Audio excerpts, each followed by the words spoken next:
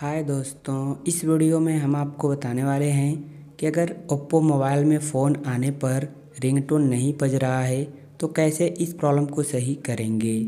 तो इसके लिए मोबाइल की सेटिंग्स में जाना है, फिर थोड़ा नीचे आएँगे तो यहाँ पर साउंड एंड वाइब्रेशन का ऑप्शन मिलेगा, इस पर क्लिक करना है। अब यहाँ पर आ जाएँगे।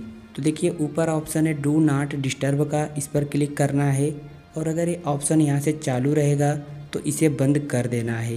देखिए, मैंने बंद कर रखा है। फिर बैक आएँगे। अब यहाँ पर ऑप्शन है साउंड मोड का, इस पर क्लिक करना है। यहाँ से रिंग, रिंगिंग वाले ऑप्शन पर क्लिक कर देना है। तो चलिए हम रिंगिंग वाले ऑप्शन पर क्लिक करते हैं। इस तरीके से हो जाएगा।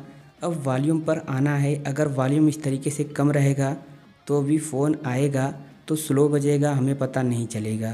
तो इसे क्या करना है? यहाँ से फुल कर देना है सभी ऑप्शन को। देखिए हमने फुल कर दिया।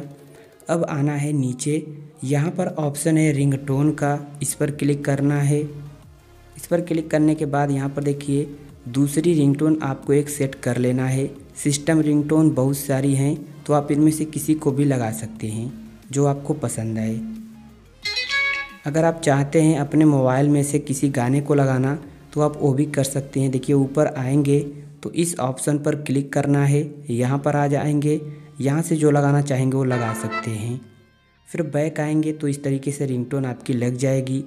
अब होम स्क्रीन पर आना है। अब अपने मोबाइल को एक बार स्विच ऑफ़ करके स्विच ऑन कर लेना है।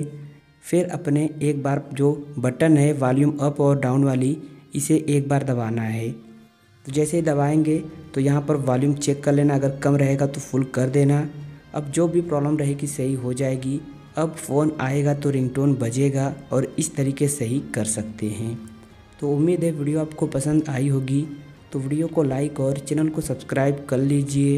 एक प्यारा सा कमेंट भी कर दीजिए। Thank you.